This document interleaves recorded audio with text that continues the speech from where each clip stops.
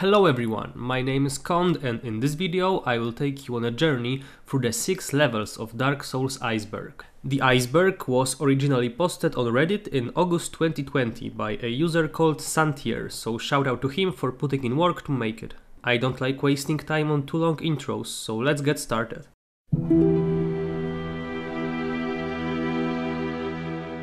Blighttown Wheel Dog the wooden elevator in Blighttown is run by a flaming attack dog. This detail is pretty easy to miss, especially on your first playthrough, however most seasoned players know this one. Also, the dog cannot be killed with any weapons. Great Hollow Falling Basilisk. As you enter the Great Hollow, you will always receive 400 souls. This is caused by a badly placed basilisk who spawns out of bounds and falls to his death into the void. What a poor guy. Duke's Archives Whispers. In the Duke's archives, you can sometimes hear a very faint sound of whispers coming from bookshelves.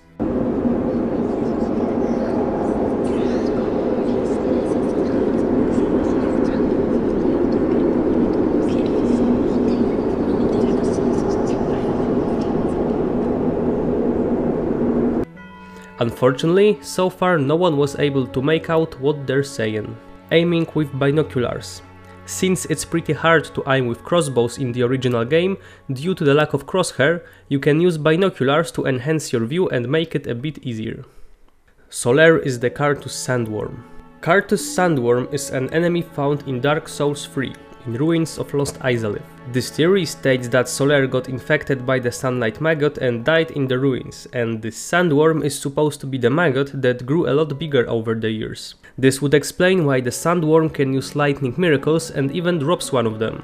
Although this theory is cool, I think that it's a bit of a stretch, since if you look closely at the sandworm, it's clearly made of multiple bodies. Also, I'm pretty sure that the official canon is that Solaire survives and links the fire in his world.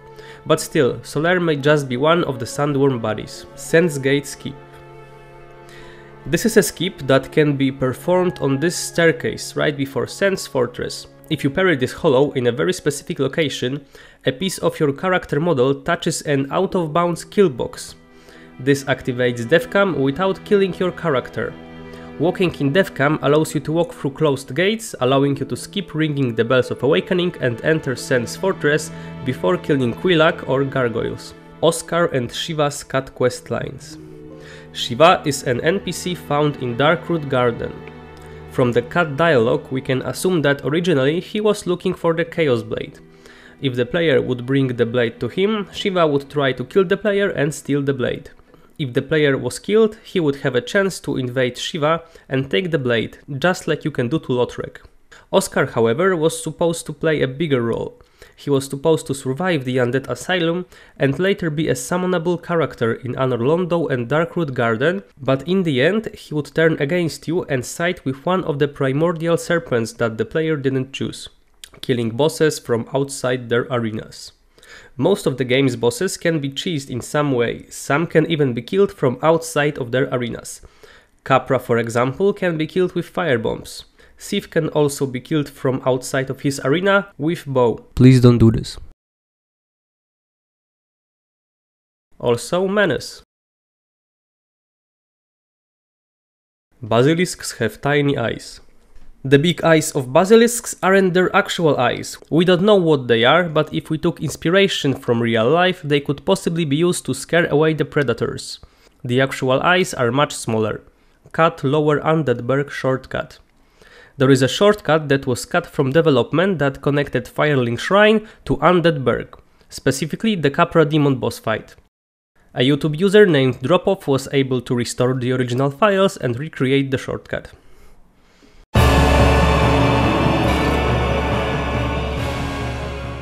Infinite Soft Humanity glitch. This is not strictly a glitch, but more of an exploit that can be performed in Duke's archives. After you escape from Sif's prison, every time you warp into the archives, the first hollow that you kill will give you a soft humanity.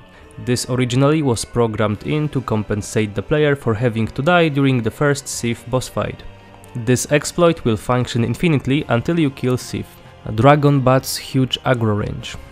There once was a bug that gave Dragon Bats in Lost Izalith an insane aggro range that would trigger before the player was even able to properly see the enemy. However, this bug was quickly patched. Halberd Sweet Spots. This is a mechanic used in Dark Souls 2 which makes the tip of halberd weapons deal extra damage if you manage to precisely hit the enemy with it. However, this mechanic is not used in Dark Souls 1, instead halberds deal more damage if they connect with the enemy late in the attack animation. Skeletons giving no souls. Skeletons will only give souls when they are permanently killed. This means that the skeletons controlled by necromancers or Nito will not give you any souls when they are killed. Jeremiah is the parasitic wallhugger. There are some hints that connect these two characters. First of all, Jeremiah's headpiece looks like it could perfectly hide the wallhugger inside. Second of all, the parasitic wallhugger is called Prince Isalis in the game files, and we know that Jeremiah was a king of an unknown land called Xanthus which could as well be located somewhere near Izalith or just be another name for Izalith. We know for sure that Jeremiah had at least some connection to Izalith because he can use Chaos Pyromancies. And lastly, Jeremiah fights with a whip and pyromancy spells, and near the parasite's body you can find exactly a whip and a pyromancy spell. I don't think that Jeremiah is the parasitic wallhugger, it's much more plausible that Jeremiah is the father to the person who became the wallhugger, an exiled king infected with the same parasite. Artorias and Quelaag have dialogues. Originally, Artorias was supposed to speak to you during his boss fight. His dialogues would suggest that he was not completely consumed by the abyss. Whatever thou art, stay away. Ah, Sif, there you are. All of you, forgive me.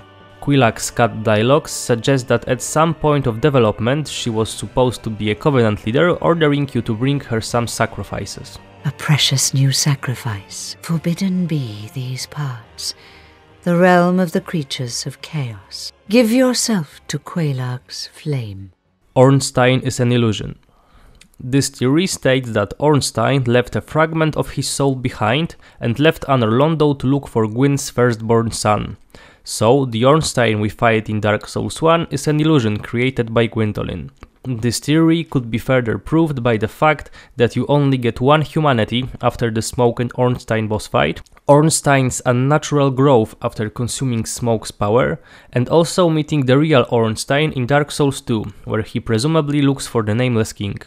But of course the time is convoluted, and this could be a completely different character. Poop walking. I'm gonna cite Speed Souls wiki on this one. Poop walk is a glitch in Dark Souls with the animation blending system, which effectively halves the distance traveled during all animations but not their speed. This glitch is obviously named after the way your character looks when walking.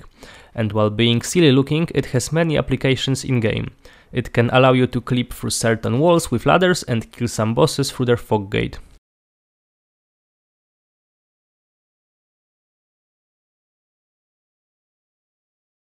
Kalameet is not a cyclops. Just like basilisks, Kalameet has two quite normal eyes. Frampt and Kaathe are the same being. This theory states that the two primordial serpents are actually the same being or two heads connected to one creature, similarly to the Hydras. This theory is mainly supported by the fact that they look identical, are voiced by the same actor, and they both try to manipulate you into fighting Gwyn, which is supposed to be a part of a greater plan. This is a fairly complicated theory, but an interesting one, and if I wanted to get into all the details it would just take too much time, so I'll link a great Reddit post that explains this one much better. Havel is not the person trapped inside the tower. This theory suggests that the man you fight in Watchtower basement is not really Havel. On one hand, we know that the person in the tower was locked there by a dear friend for their own good, which would fit Gwyn locking Havel inside because Havel has gone hollow from fighting Sif. Also, Havel's shield and dragon tooth should be one-of-a-kind weapons that only Havel himself wielded. On the other hand, another set of those weapons can be found in a chest in Anor Londo, and the person we fight in the tower drops Havel's ring, which was given to his followers and not worn by Havel himself.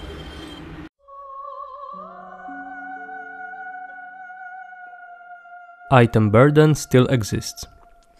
Dark Souls actually has a maximum item burden and it is set to the value of 10,000 which is so high that no one would ever reach it during regular playthroughs. Anor Londo Spiral no backstab mechanic. You cannot backstab or riposte other players or enemies while standing on Anor Londo's spiral staircase. This is also the case for all other movable surfaces like Sen's Fortress elevators, Duke's Archives rotating stairs and so on. Butchers are female. Butchers in the depths are in fact female and this has been confirmed by Mr. Miyazaki himself. Crag spiders rare attack. Crag spiders have a rare attack which they will perform if you stay still behind their back. The spider lays a fiery egg that deals damage for a short period of time.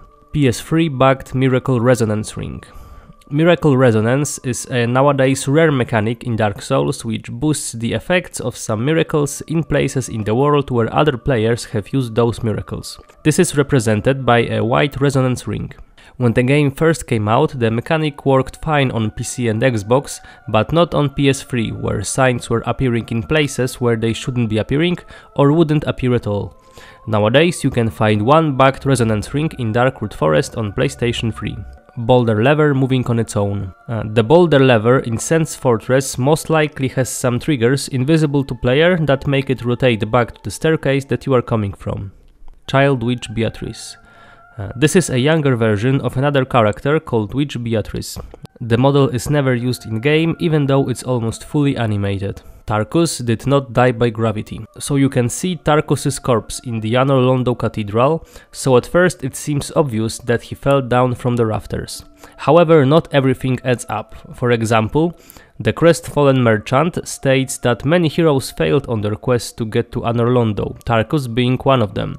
Also, it wouldn't make sense for him to die in Anor Londo rafters after getting through much harder challenge of Sen's Fortress. Lastly, his corpse is not directly under any of the rafters. Mm, there were also some speculations that he could have just left his armor behind. Personally, I think that this theory is a stretch and Tarkus simply fell down to his death. Visiting the town under Firelink. There is a small unnamed town that you can see from Firelink Shrine. It's mostly composed of reused assets from Undead Burg, but it also adds some new ones. Anyway, you cannot access this town by any normal means, to get there you would have to use developer tools. Bear Armor. This Bear Armor set was cut in early development as it didn't fit the aesthetic of the game. World Tendency still exists. World Tendency is a mechanic from Demon Souls that changes the strength of enemies and modifies NPC encounters. This mechanic is in some way transferred to Dark Souls through Gravelord Covenant. The Gravelord servants can curse other players' worlds, which will cause additional stronger enemies to appear in the cursed worlds.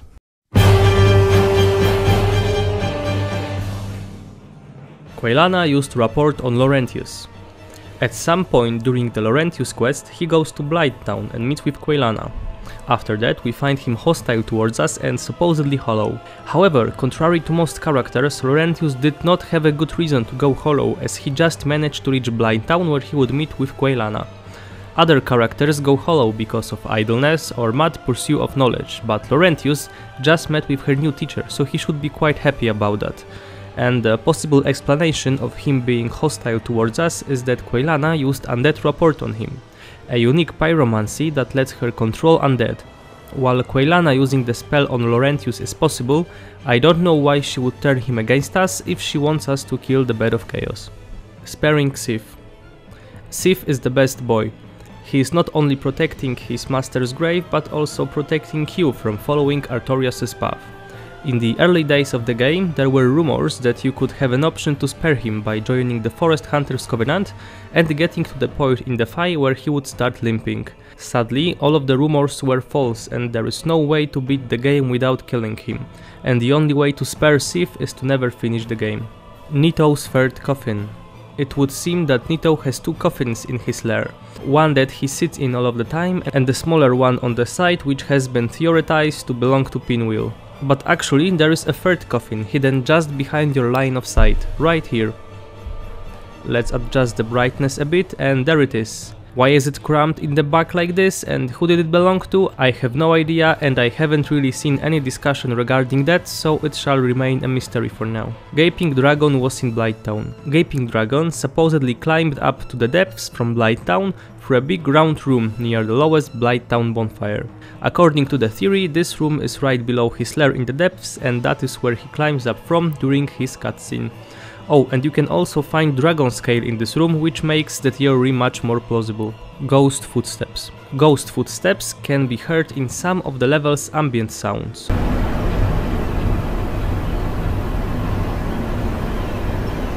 Also, sometimes the sound of your character's footsteps can get out of sync with the animation and end a second or two after you stop running, creating an eerie sound. Competitive PvP with a prize pool. There was some discussion about competitive Dark Souls, however the game's PvP is too imbalanced, has too many inconsistencies, and the servers are never reliable enough to provide a competitive experience. However, there are some players who create their own little tournaments with prizes, like this guy who made a PvP tournament with a $20 prize pool. The biggest instance of Dark Souls tournament that I was able to find was the Tryhard Meta Invitational in Dark Souls 3 with a $500 prize pool. Hellkite Drake on the Aqueduct. This is one of the promotional pictures released before the game came out. It takes place in front of the aqueduct that you use to enter the Undead Burg, right after leaving Firelink Shrine. Obviously, a lot of changes have been made since this image was released. The Drake is red, not blue, the aqueduct has two levels, and this whole scene was cut from the game. Broken Archtree from Ash Lake was a portal to Boletaria. Now we are entering deep lore speculation zone. So the arch trees are theorized to hold different worlds. One arch tree holds one world. When we entered Ashlake, we can see that one of the arch trees is destroyed, which could mean that the world it was holding was at some point destroyed too. This world could be Boletaria, since Demon's Souls is somewhat of a prequel or at least an inspiration for Dark Souls, and now the tinfoil hat version of this theory. The tree in Ashlake is broken. You know what else is broken? The sixth archstone in the Nexus. It was supposed to teleport us to Lordran, but the tree was destroyed during the war with gods, and that's why we can't use it. Andre moving Firelink statue. Andre, as many other characters, was supposed to play a much bigger role of being the descendant of Gwyn. Originally, he was supposed to help you enter the kiln of the First Flame instead of Frampt. He would move the statue in the Firelink church, which would reveal the entrance to the kiln. This was cut from the game, but concept art and in-game files still remain. Killing Kalameet without Gough's help. With enough skill, you can kill Kalameet without Gough's help. This is usually performed by shooting him with a bow while covering yourself with a shield and this process usually takes half an hour. However, I was able to find a much more impressive display of skill by Camul78, who killed the dragon in just 2 minutes. Try Wings. Try Wings was a soapstone message that players were living in the air, obviously confusing other players. This was achieved with glitches or hacks. This phrase was also used near cliffs to troll new players into thinking that they will get an item that lets them fly later in the game.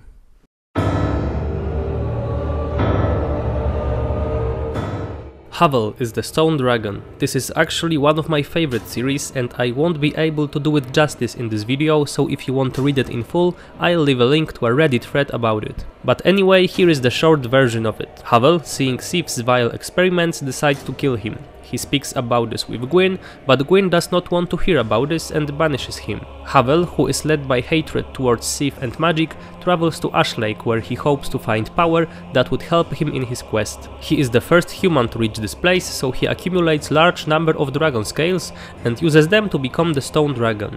This theory sounds like a huge stretch at first, but if we look at certain item descriptions, it actually starts to make a lot of sense. First of all, we know that Havel was a bishop who created spells that would shield humans from magic. His most powerful spell, Great Magic Barrier, can be found in Ashlake, right in front of the stone dragon. Second of all, the weapon that we acquire from cutting the dragon's tail says that this dragon is not an ancient dragon but their descendant. Finally, the name Stone Dragon, Havel the Rock, Stone, Rock, Havel wore armor made of stone. We know that dragon apostles can turn into dragons. Havel uses dragon's tooth, which is originally called dragon's horn, and the stone dragon is missing its horn.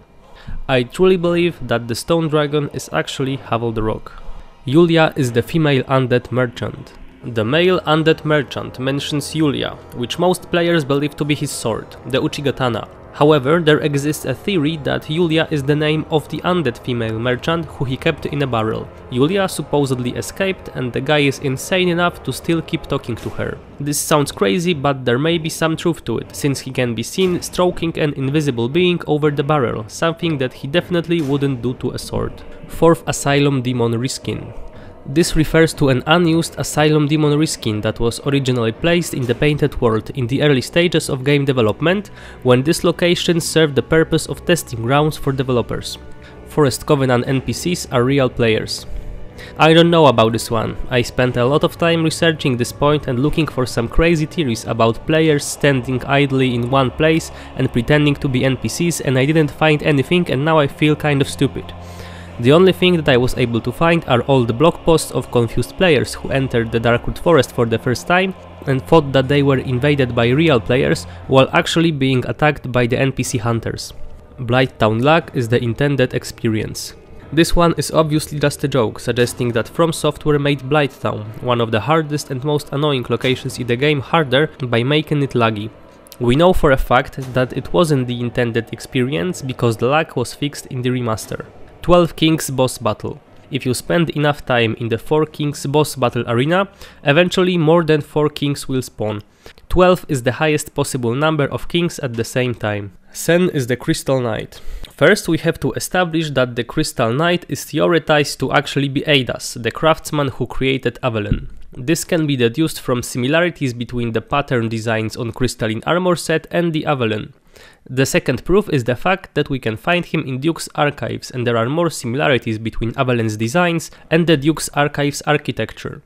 So perhaps Eidas was not only a craftsman but also an architect who was working on the archives before he went hollow. Now, knowing that Eidas was a great architect, we can assume that he was the one who designed Sen's fortress. If he was able to construct the intricate mechanisms of Avelyn, he surely would be able to create the traps in the fortress. Also, Avelyn shoots 3 bolts in a row. You know what else shoots 3 bolts in a row? This theory is obviously a huge stretch and only exists because we don't know about any other craftsmen or architects in the game. Using Priscilla to level up. Priscilla was originally supposed to play the role similar to the role of Black Maiden or the Emerald Herald. She was supposed to be present in the Firelink Shrine through the whole game, giving you advice and leveling you up. However, this idea was later scrapped. Griggs is a spy sent to kill Logan. When you look closely at the character of Griggs, you can notice some shady things about him. When you meet him, he is supposedly trapped in a room from which he could easily escape because he is a powerful sorcerer. Then he won't let you know why is he so interested in Logan. From item descriptions we know that he specializes in sound magic, something perfect for a spy. So perhaps Griggs was sent to spy on Logan by his school and maybe kill him if he became too dangerous.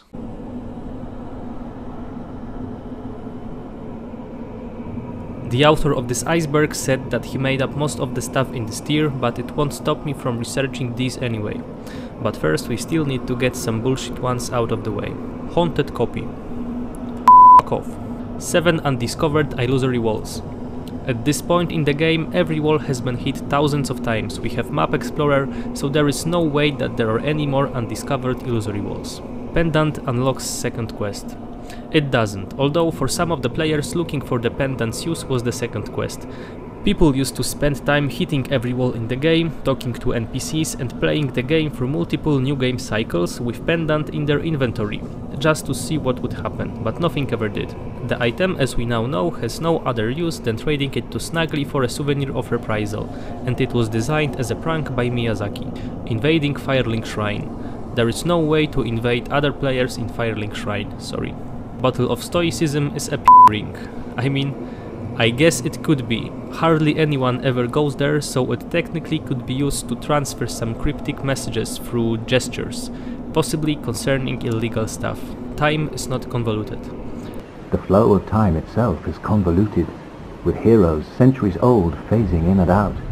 The very fabric wavers, and relations shift and obscure. There's no telling how much longer your world and mine will remain in contact. so this line by Solaire is often considered to explain the convoluted timeline of the games.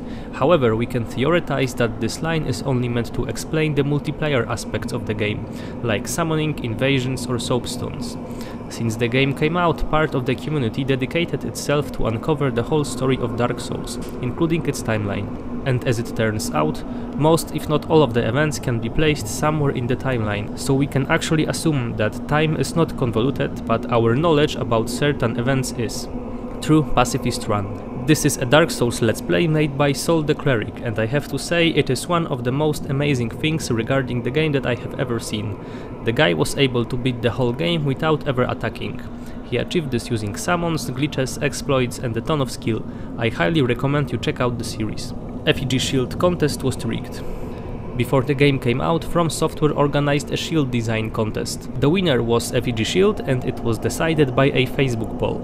It was like 10 years ago and it's really hard to find any information about this. But from what I was able to find, the winner of the contest was suspected of using bots to give him fake votes on the poll. Velka is the corpse in the asylum. Velka is strongly connected to the crows, as we know from Painted World of Ariamis, so we can further assume that she is connected to Snuggly, the crow that transports us from Undead Asylum to Firelink. And according to this theory, the crow was actually supposed to save Velka from the asylum and not the chosen undead. But Velka died and she is one of the corpses in the asylum. Grasscrest Shield is a placebo, I am quite lost on this one. I can only assume that this refers to the stamina regeneration effect of Grass Crest Shield being so minor that it becomes irrelevant, thus making it a placebo. But I am not sure that this is what the author of the iceberg meant, so let me know in the comments if you have any other ideas. Reverse Boss Order True reverse boss order is not possible without cheats. Asylum Demon has to be the first boss that you fight, and Gwyn has to be the last. However, between these two there is a lot of freedom. For example, if you play correctly, the first boss in Lordran that you kill could be Sif, and the last one before Gwyn could be Taurus Demon. Ashlake Skull Identity the shape of this skull doesn't quite fit any known creature in the Dark Souls universe. Some people think it's a deformed dragon skull.